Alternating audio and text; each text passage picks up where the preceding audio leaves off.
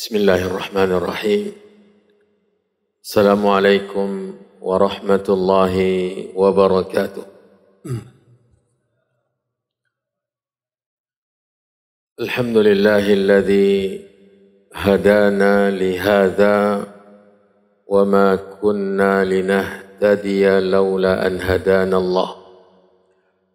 أشهد أن لا إله إلا الله وحده لا شريك له وأشهد أن محمدا عبده ورسوله.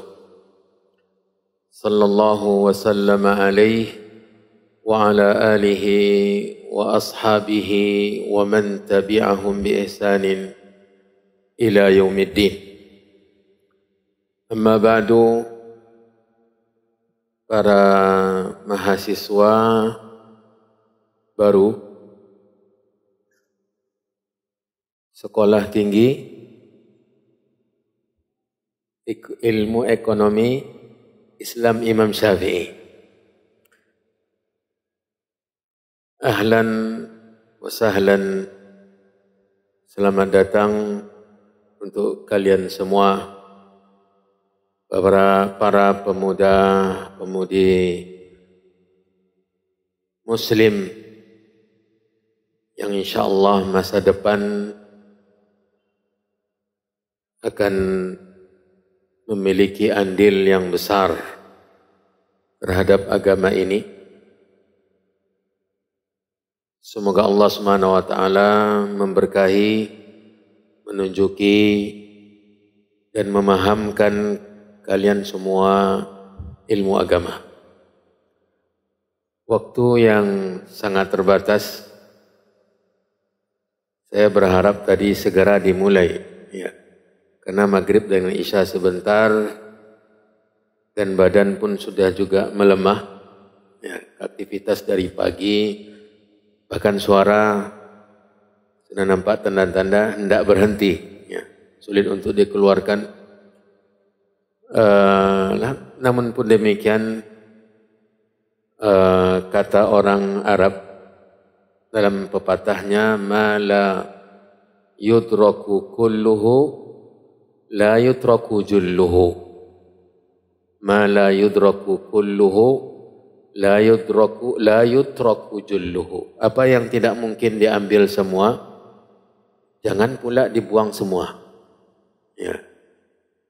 Ketika kita punya waktu sedikit yang bisa kita ambil kita bahas insyaallah akan kita bahas keberkahan bukan pada lama tetapi keberkahan pada keridaan Allah Subhanahu wa taala.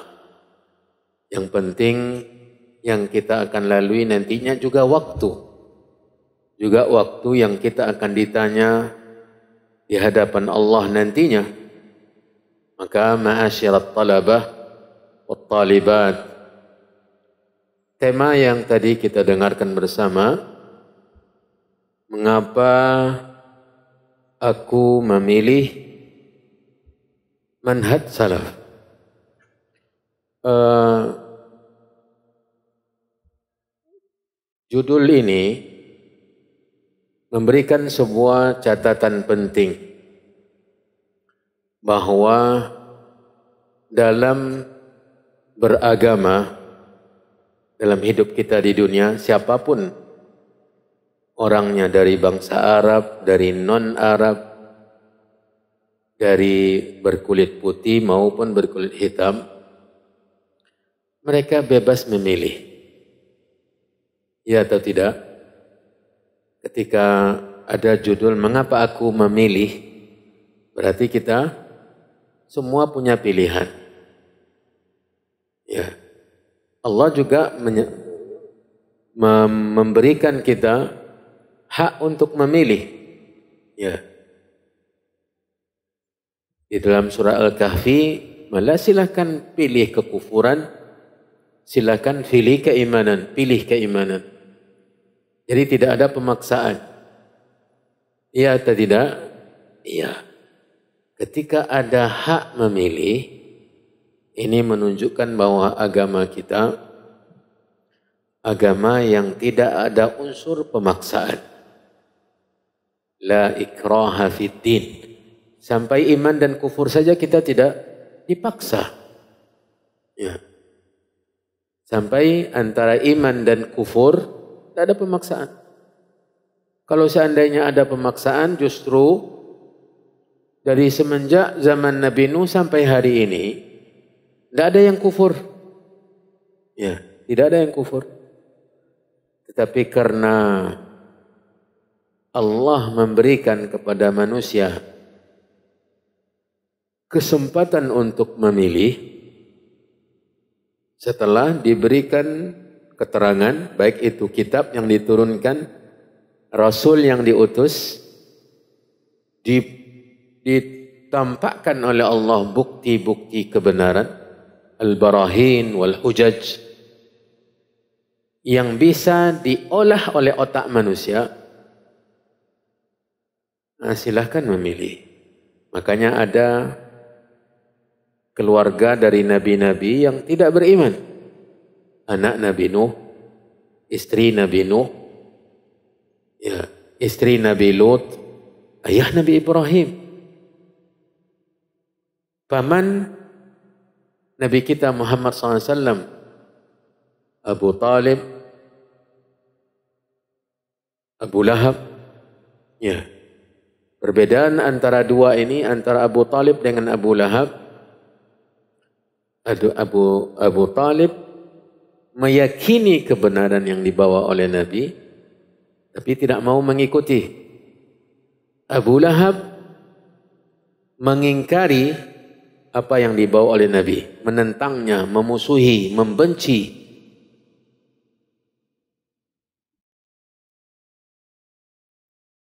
Paman Nabi Hamzah menerima, mengimani Nabi.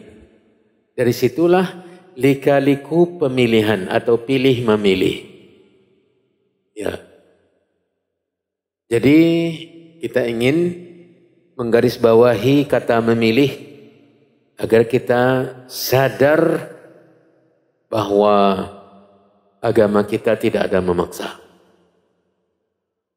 Kemudian manhajat manhaj salaf.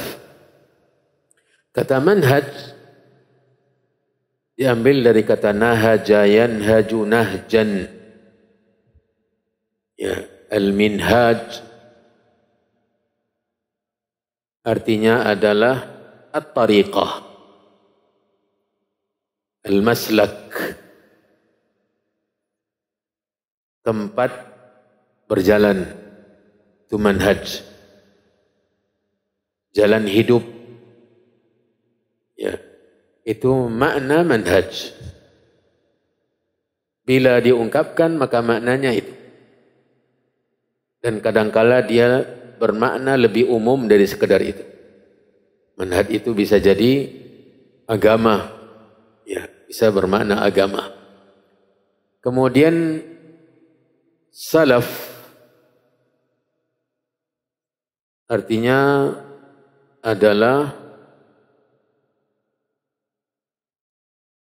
man alladhi taqaddama alayka fi zaman. As-salaf alladhina taqaddamu alayka fi zaman. Orang-orang yang mendahulimu ya dari waktu yang telah berlalu ini makna salaf ya ketika kata salaf diungkapkan maka maknanya adalah orang-orang yang mendahului kita dalam keimanan, dalam keyakinan yang benar. Dan yang dimaksud dengan salaf, mereka adalah tiga generasi awal umat ini. Ketika ada ungkapan salaf, Maka maksudnya adalah tiga generasi yang ditegaskan oleh Nabi. Khairun nasi qarni. Thumma alladhina yalunahum. thumma alladhina yalunahum. Sebaik-baik manusia adalah qarni yaitu zamanku. Al-qarnu al-asru az-zaman. Ya abadku atau masaku. Maksudnya manusia yang hidup di zaman Nabi beriman. Tentunya maksudnya adalah siapa? Para sahabat itu yang pertama. Generasi pertama mereka para sahabat Nabi SAW yang mana definisi sahabat apa definisi sahabat? As-sahabiyyu huwa man laqiya an-nabiy sallallahu alaihi wasallam mu'minan wa mata alaihi man laqiya an-nabiy sallallahu alaihi wasallam mu'minan wa mata alaihi Ana sangat paham dan sangat maklum kalian lelah. Ya kan? Istirahatnya cuma menjelang, saya lihat dari jadwalnya, ya menjelang maghrib kalian dapat istirahat. Dari pagi beraktivitas. Maka sama-sama lah kita. Ya. Makanya saya uh, apa pelan-pelan juga. Jadi definisi sahabat adalah man laqiyan nabiyya sallallahu alaihi wasallam mu'minan wa mata alaihi. Orang yang berjumpa nabi alaihi salatu wasalam dalam keadaan beriman lalu meninggal dalam keadaan beriman. Itu sahabat mereka berjumpa nabi beriman. Dan mereka belajar akidah dari nabi ibadah dari Nabi, akhlak dari Nabi, muamalah dari Nabi, semua yang berhubungan dengan tuntunan hidup mereka ambil dari Nabi. Mereka mengambil sumber agama langsung ke mata airnya min manba'ihi as-safi. Al-manba' artinya apa? mata air, sumber air. Mambaun. Ya, naba alma air memancar dari mata airnya. Naba'a yanbu'u. Al-mamba mata tempat mata air. Jadi para sahabat mengambil agama ini langsung dari Nabi. Baik masalah akidahnya, masalah ibadahnya, akhlaknya, muamalahnya mereka langsung dapat dari Nabi SAW. Dan itu pilihan Allah. Jadi Allah memilih mereka li suhbati nabiyhi alaihi salatu wassalam. Allah pilih mereka untuk menjadi sahabat nabinya. Menjalani agama ini, menjalankan agama ini bersama para sahabatnya. Kemudian yang yang kedua adalah generasi tabi'in. Yaitu murid-murid para sahabat. Tabi'in itu pengikut. Maksudnya adalah man laqiya sahabah atau man laqiya sahabiyan mu'mina. Wa mata alaih. Atau ya man laqiya sahabiyya mu'minan wa mata alaih seseorang yang berjumpa sahabat dalam keadaan beriman dan meninggal dalam keadaan beriman itu tak ya. jadi mereka mengambil agama dari sahabat dari Nabi SAW jadi sanatnya hanya terpisah sahabat saja berarti mereka sangat dekat dengan Nabi dalam uh, mengambil ilmu agama perantaranya cuma para sahabat Generasi ketiga adalah tabi'u at-tabi'in. Tabi'u at-tabi'in. Pengikut-pengikut tabi'in. Pengikut-pengikut tabi'in ini maksudnya adalah murid-murid generasi tabi'in. Jadi mereka belajar agama dari guru-guru yang mana guru-guru mereka ini adalah murid para sahabat Nabi. Ya, yaitu tabi'in. Inilah tiga generasi yang dikenal dengan Al-Qurunul Mufaddalah. Generasi-generasi yang diutamakan, yang mulia. Bila ada kata salaf, maka maksudnya siapa? Bila ada ungkapan kata salaf, yang secara bahasa adalah orang-orang yang mendahului kita dari, dari ayah kita, kakek kita, kakek berikutnya dan berikutnya.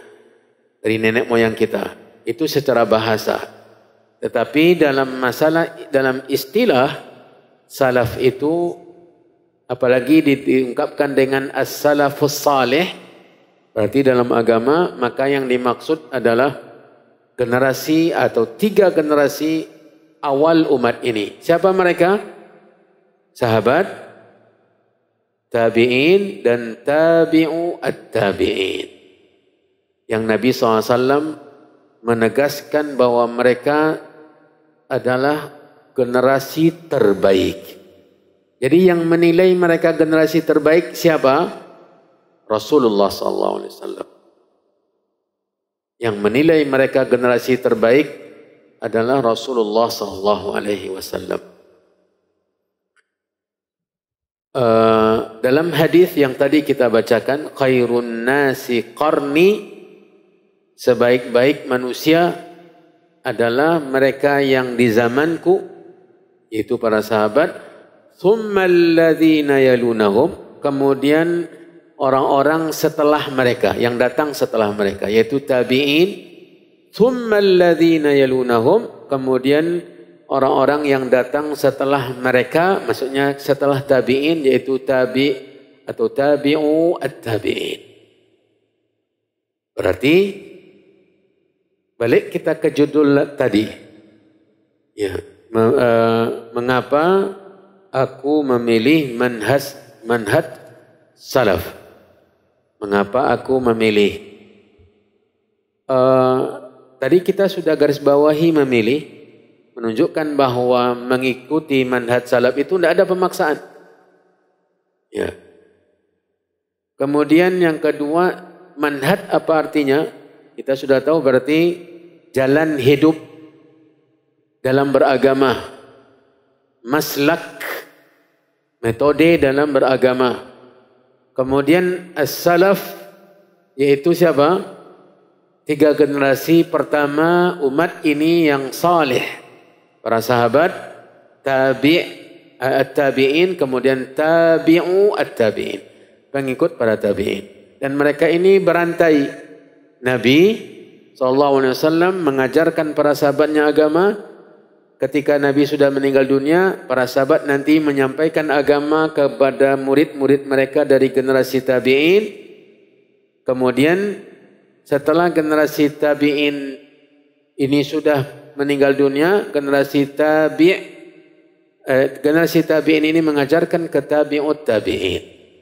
Begitulah ilmu agama sampai ke generasi yang ketiga tadi dengan sempurna dengan amanah tidak ada yang dikurang-kurangi tidak ada yang ditambah-tambahkan ya ini para mahasiswa yang Semoga senantiasa dirahmati dan dimuliakan oleh Allah Subhanahu wa taala. Uh, setelah kita mengenal judul tadi dan menunjukkan uh, bahwa kita semua bebas memilih tetapi jangan sampai kita salah memilih. Dalam hidup ini kan kita banyak yang kita pilih. Misalnya ketika kita ingin melanjutkan ke perguruan tinggi, kan kita juga memilih-milih. Ya. Ternyata jatuh pilihan kita ke sekolah tinggi ini. Ya. Dan dalam misalnya nanti ketika kalian mencari jodoh juga memilih-milih. Ya. Memilih syariat agama mem, mem, membukakan kesempatan untuk nazar. Laki-laki melihat wanita yang akan dipilihnya. Ya. Kata Nabi SAW, فَلْيَنْظُرْ إِلَيْهَا Ya. Lihatlah kepada calon atau orang yang kamu ingin jadikan sebagai calon istri. Ini cara memilih. Orang tua lah perempuan pun disuruh memilih. Ketika datang melamar anaknya, seorang pemuda yang dia tahu agamanya baik, akhlaknya baik, maka jangan ragu-ragu menerima. Berarti dalam hidup ini kita tidak akan lepas dari pilih memilih. Untuk kita tidak salah memilih, untuk tidak salah memilih apalagi tentang sesuatu yang akan menentukan apakah kita jalan ke surganya lurus atau justru kita disimpangkan ke neraka. Ini penting kita untuk mencari tahu mana pilihan yang tepat. Jangan sembarangan apalagi di akhir zaman ini kita sudah berhadapan dengan gelombang gelombang subuhat. Subuhat. Saking gelapnya gelombang gelombang, gelombang subuhat itu, seseorang bisa berubah 180 derajat pagi harinya dengan petang harinya. Bayangkan menakutkannya hidup ketika sudah tidak ada lagi yang berani menyuarakan kebenaran. Fitnah-fitnah subuhat menghantam sehingga orang tidak lagi membedakan mana yang hak dan mana yang batil. Kata Nabi SAW dalam hadisnya, Badiru bil a'mali fitanan kakit'il kakit'il laylil muzlim.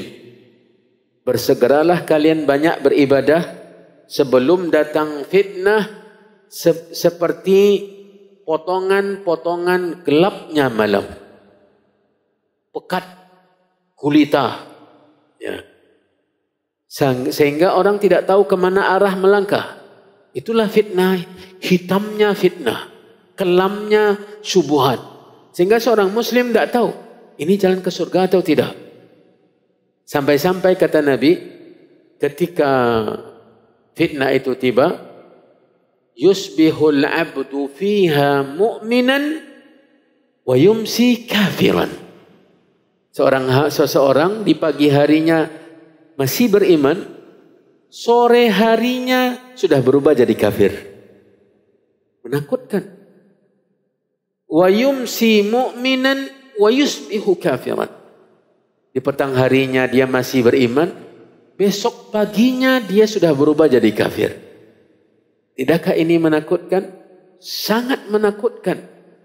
Kalau seperti itu bentuknya keadaan beragama, maka kita harus berhati-hati dan jangan salah memilih. Lalu kenapa kita menggusung manhaj salaf? Kenapa kita memilihnya? Bukankah cara beragama apalagi di akhir zaman ini sangat banyak? apalagi kalau di dibawakan kepada bendera-bendera yang ada. Ini ada benderanya, ini ada benderanya, situ ada benderanya. Mana yang kita pilih?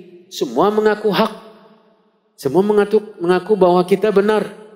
Dan bahkan ada yang mengaku dia benar, yang lain salah. Kan bingung jadinya. Makanya banyak jamaah mengatakan, dengan perbedaan-perbedaan yang sekarang ini, Ustadz saya sangat bingung mana yang benar. Kalian dan kita sebagai penuntut ilmu agama harus memiliki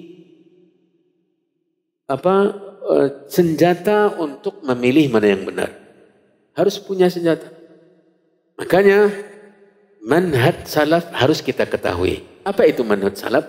Dari definisi tadi kita sudah jelas bahwa yang dimaksud dengan salaf itu adalah para sahabat tabi'in dan tabi'ut tabi'in. Kenapa mereka?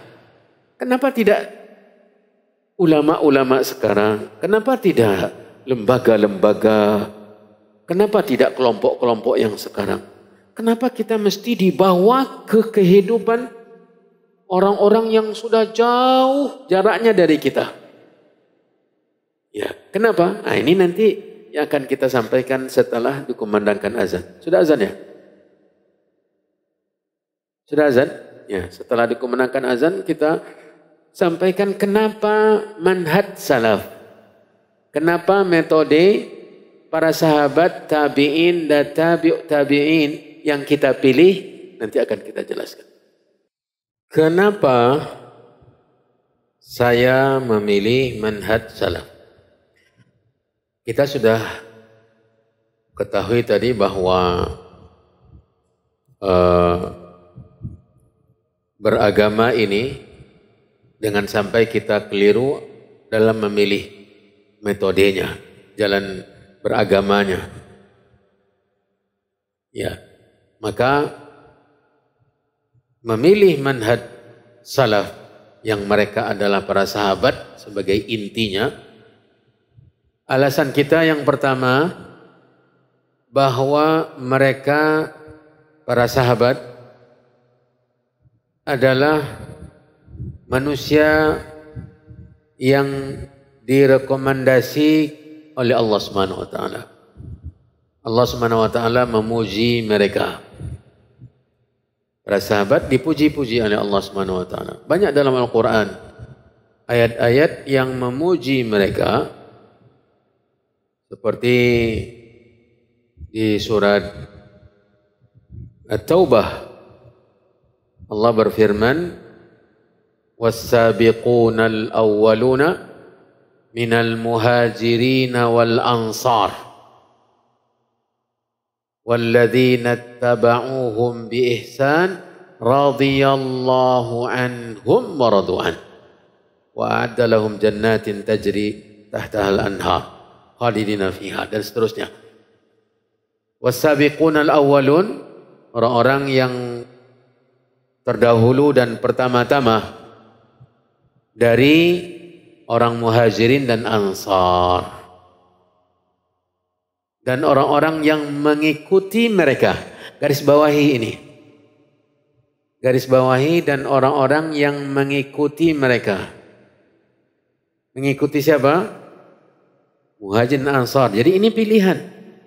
Allah sudah mengisyaratkan bahwa yang selain Ansar dan Muhajir ini nanti ada orang yang juga diridhai oleh Allah yaitu orang-orang yang mengikuti Muhajirin dan Ansar dengan baik.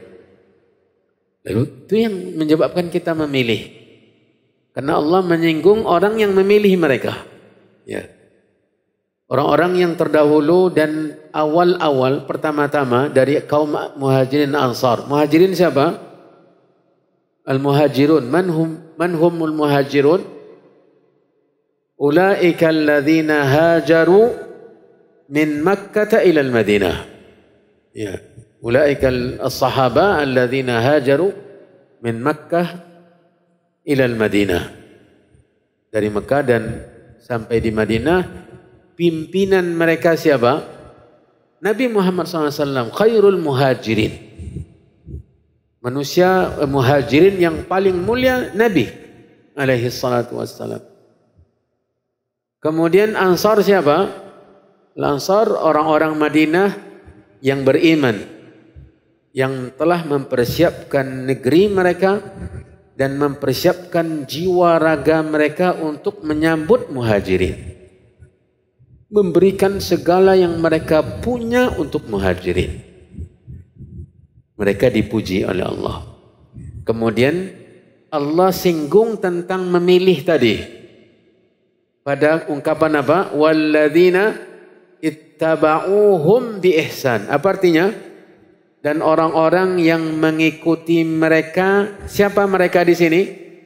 Muhajirin dan Ansar dengan baik. Kapan itu orang-orang yang mengikuti? Di zaman tabi'in saja, kemudian tidak ada lagi yang mengikuti? Tidak. Ini sampai nanti hari kiamat.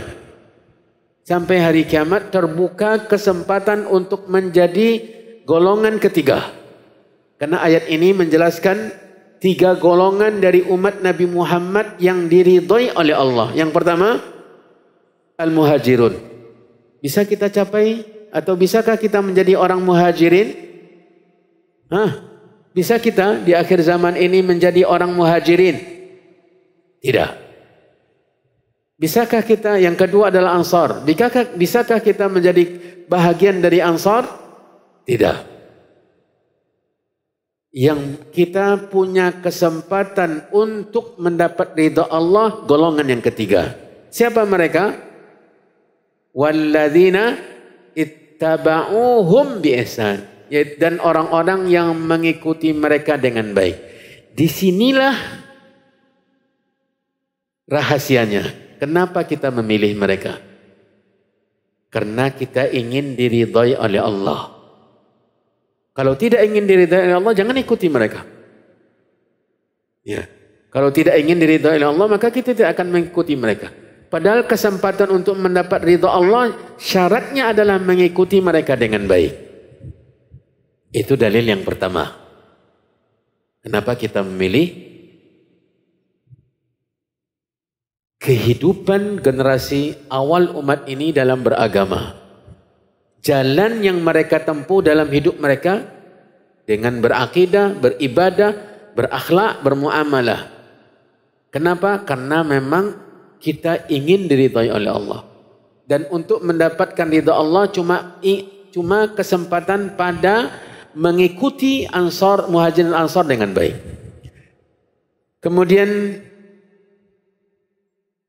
dalil yang lain di surat Al-Hasyr. Surat Al-Hasyr, juz berapa itu? 20. Juz Qad Sami'a, dia juz berapa? 27. 28. Di surat Al-Hasyr Allah berfirman membagi dengan mereka ini yang tiga dengan beberapa ayat. Ada tiga ayat. 9, 10, 11. Ya. Pertama Allah menyebutkan muhajirin. للفقراء المهاجرين الذين أخرجوا من ديارهم وأموالهم يبتغون فضلا من الله ورضوانا وينصرون الله ورسوله, ورسوله أولئك هم الصديقون أولئك هم الصادقون Kemudian walladzina tabawwa'ud dar. Ini tentang Ansar. Ya. Yang pertama muhajirin dipuji oleh Allah. Kemudian walladzina tabawwa'ud dara wal imana min qablihim yuhibbuna man hajara ilaihim. Ini golongan Ansar. Kemudian pada ayat berikutnya Allah menyebutkan yang ketiga tadi di surat Taubah yaitu walladzina ja'u min ba'dihim يقولون ربنا أتمم يقولون ربنا اغفر لنا ولإخواننا الذين سبقونا بالإيمان ولا تجعل في قلوبنا غلا للذين آمنوا ربنا إنك رؤوف رحيم orang-orang yang datang setelah muhajirin ansar ya yang mana mereka berdoa ya Allah ampunilah dosa-dosa kami dan ampunilah dosa-dosa orang-orang sebelum kami maksudnya muhajirin ansar. Ya. Yang pertama-tama masuk dalam doa mereka dan jangan jadikan dalam hati kami kebencian kepada mereka. Wala taj'al fi qulubina ghillan lil ladzina amanu. Ini menunjukkan bahawa tiga golongan dari umat Nabi Muhammad ini kita tidak akan mungkin mendapatkan kesempatan menjadi golongan pertama dan juga tidak akan mungkin mendapatkan kesempatan untuk menjadi golongan kedua dan kita hanya punya satu kesempatan eh, punya kesempatan untuk masuk ke golongan yang ketiga yaitu yang datang setelah muhajirin ansar. Setelah para sahabat yaitu yang mendoakan mereka dan berdoa agar tidak ada dalam hati mereka kebencian kepada as-salaf as-salih. Itu alasan pertama. Alasan kedua Kenapa kita memilih? Alasan pertama itu apa? Karena Allah yang menyuruh kita untuk memilih jalan mereka.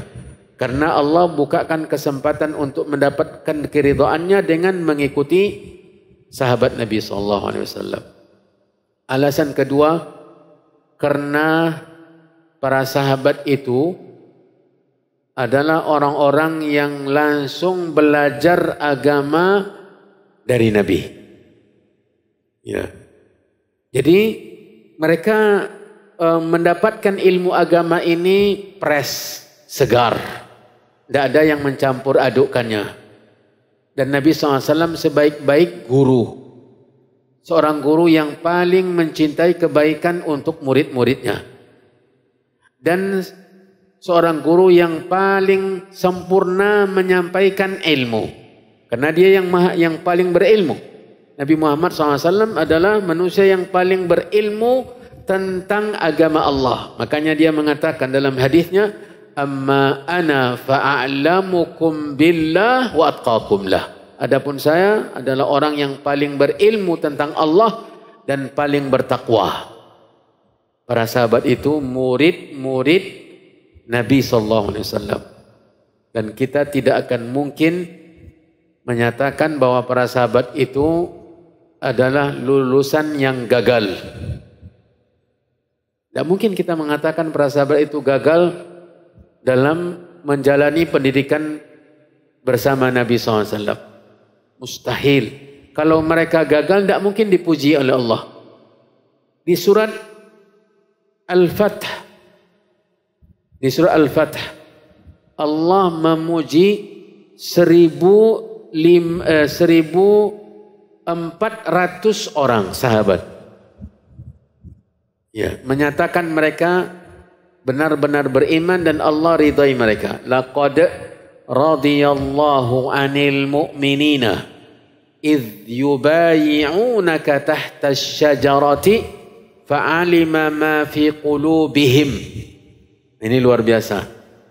Sungguh Allah telah ridha terhadap orang-orang beriman. Jadi yang menyatakan para sahabat itu beriman siapa? Allah. Dan Allah mengatakan bahwa dia mengetahui isi hati mereka. Ya.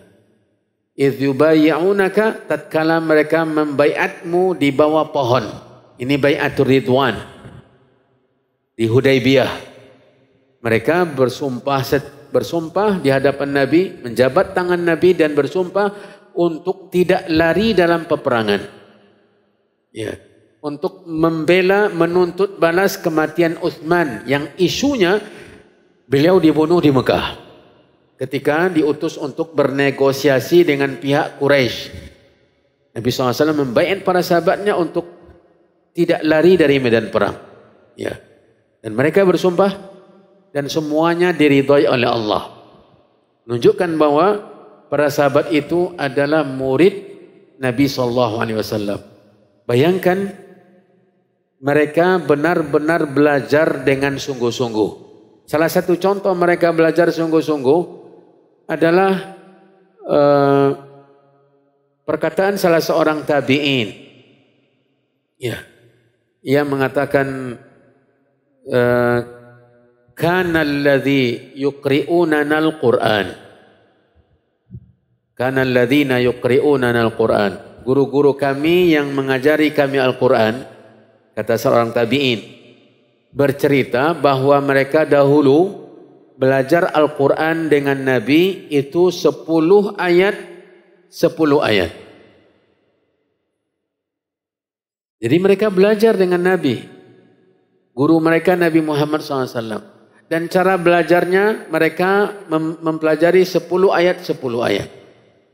Kata mereka, kami tidak pindah dari 10 pertama, 10 ayat pertama sampai kami meng meng mengetahui ya, mengetahui um, bacaan Al-Qur'an tersebut, bacaan 10 ayat tersebut dan memahaminya serta mengamalkan.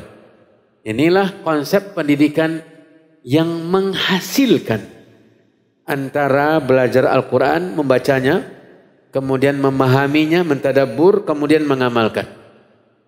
Sepuluh ayat. Setelah selesai, paket yang tiga tadi, baru pindah ke sepuluh ayat kedua.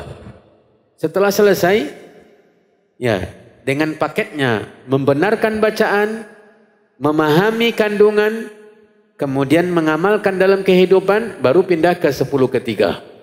Inilah yang membuat yang membuat Nabi SAW berhasil mencetak para sahabatnya, meluluskan mereka dari sekolahnya menjadi lulusan terbaik dari, dari semua manusia. Dari semua manusia. Abu Zur'ah Ar-Razi ini dari teman uh, menuntut ilmunya Imam Ahmad Abu Zur'ah Ar-Razi. Sebagaimana diceritakan oleh dinukilkan oleh anaknya Abdurrahman uh, oleh kemenakannya Abdurrahman bin Hatim dalam kitabnya Al-Jarh wa Ta'dil. Ia mengatakan jika ditanya uh, apa? Uh, jika ada orang yang mencela jika ada orang yang mencela satu saja sahabat Idza ra'aita ar-rajula yantaqisu ahadan ahadan min ashabin Nabi SAW jika engkau melihat ada seseorang yang mencela satu saja sahabat fa'lam annahu zindiq ketahuilah bahwa dia adalah seorang yang zindik apa itu zindik orang yang tidak suka agama orang yang ingin lepas dari tuntutan agama, ingin mencampakkan agama. Mereka ingin melakukan apa yang mereka sukai dalam kehidupan ini tanpa ada sangkut pautnya dengan agama. Zindik yang membenci agama. Ketahuilah bahwa orang tersebut adalah zindik. Kata Abu Zur'ah, kenapa?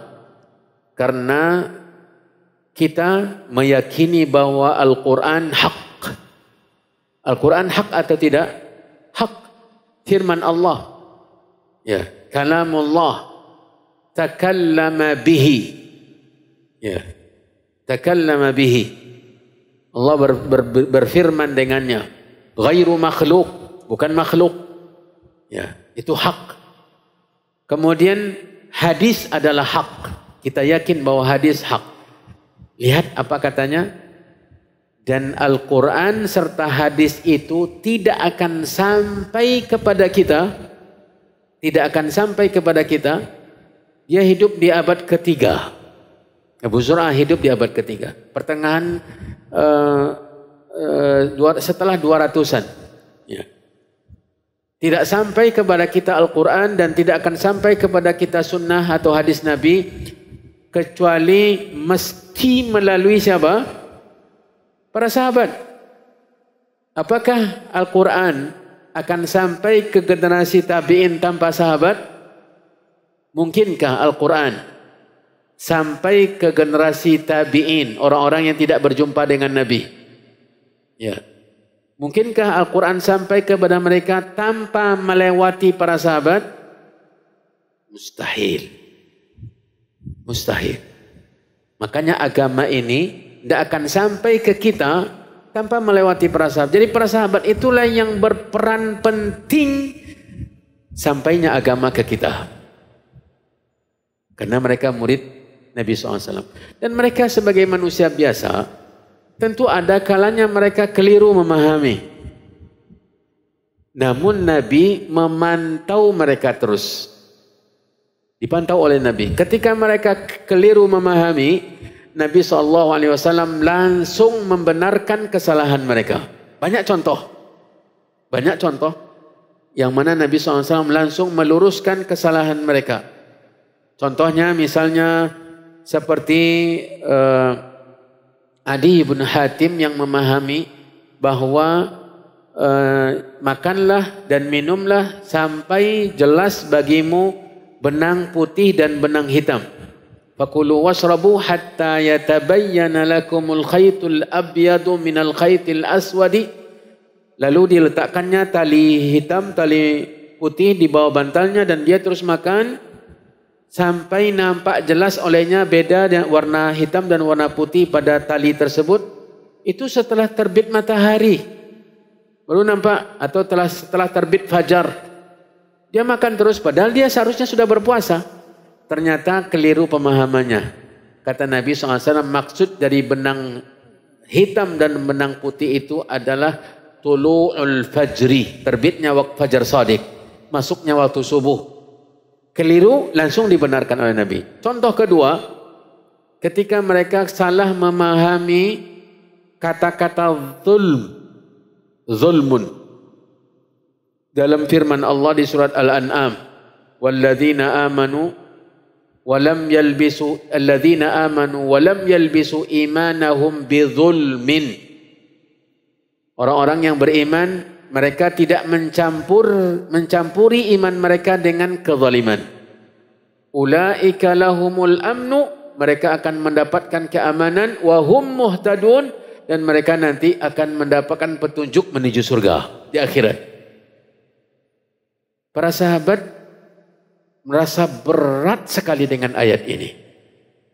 Karena mereka memahami kezaliman itu adalah menyakiti, menzalimi diri dengan dosa. Berbuat dosa zalim. Menyakiti orang lain zalim. Dan tidak ada yang selamat. Ya, tidak ada yang bisa selamat dari ini. Berbuat dosa kezaliman, menyakiti orang lain kezaliman. Kalau begitu, kata mereka, ayyuna la yadhlimu nafsah. Siapa di antara kita yang terbebas dari kezaliman? Kalau tidak, kalau seandainya tidak ada yang terbebas, berarti semua kita tidak ada akan tidak akan mendapatkan rasa aman dan tidak akan mendapatkan petunjuk.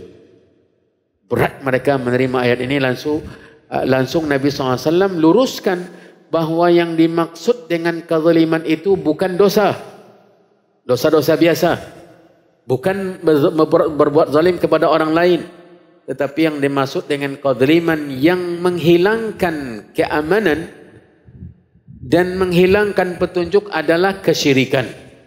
Lalu Nabi membacakan firman Allah, Inna syirka la zulmun azim.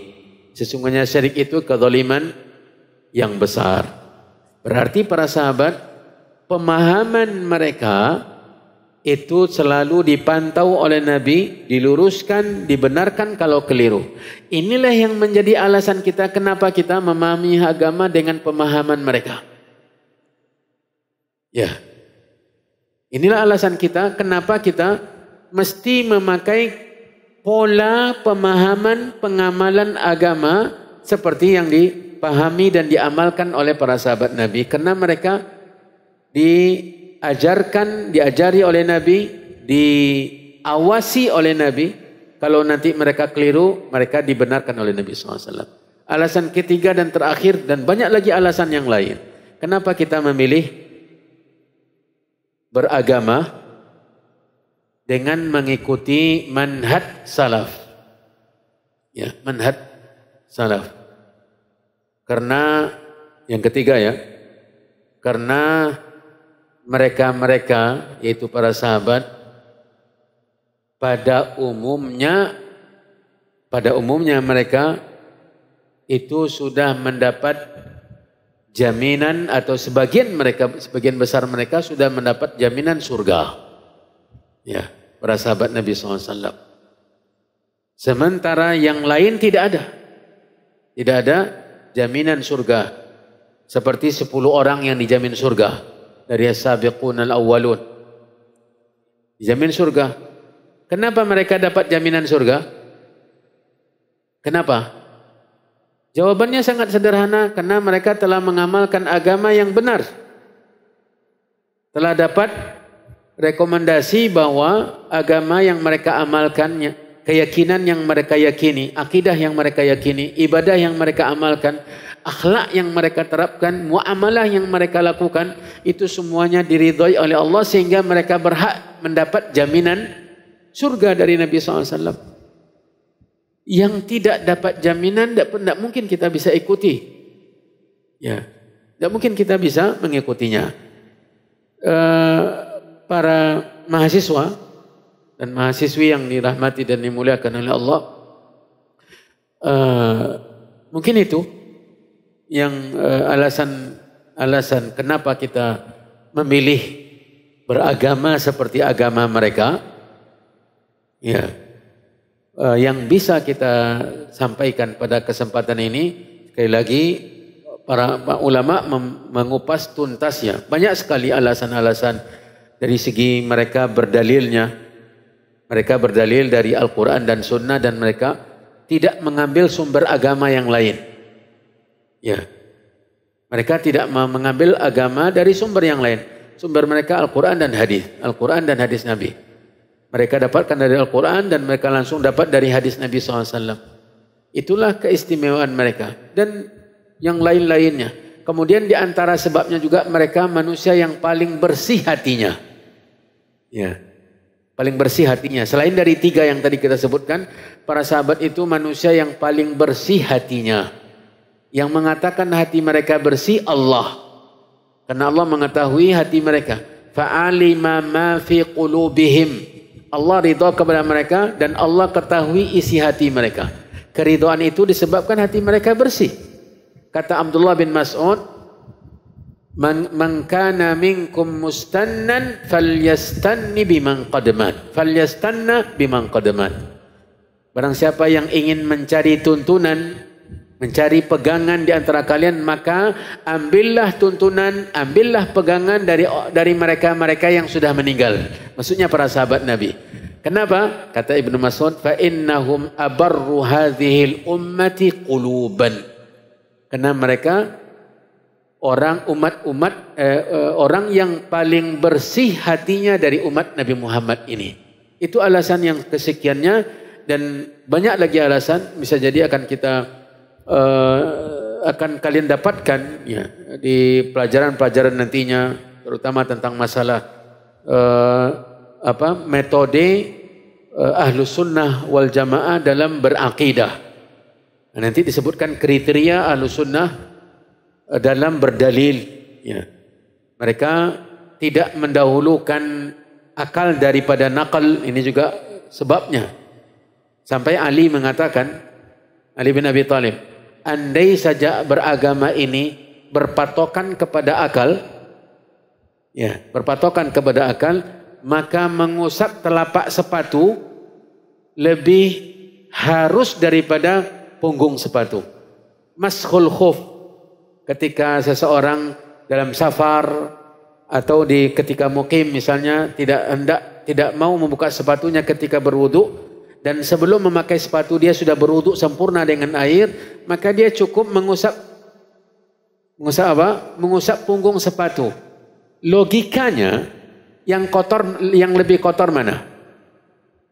Yang diletakkan di lantai yang bersentuhan langsung dengan tanah. Tetapi justru yang diusap dengan air yang yang kelem, yang lembab di telapak tangan kita itu punggungnya.